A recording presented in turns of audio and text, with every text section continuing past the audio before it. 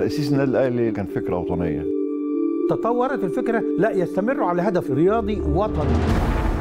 بدأ يرفع اسم مصر. بدأت حركة رياضية من داخل النادي الأهلي. واجه مقاومة شديدة جدا.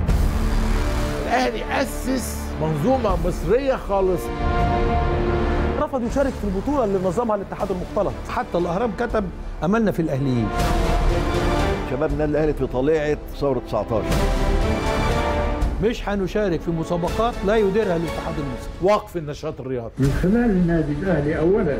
ما حدث في 67 أنا شاهد عيان عليه بعضهم استشهد في هذه الحرب. أول فريق مصري سافر عشان مجهود حربي. ابتدوا يزوروا المصابين في المستشفيات. كان بيؤدي واجبه تجاه الوطن. الوطنية المصرية. بارك الله في رجال الله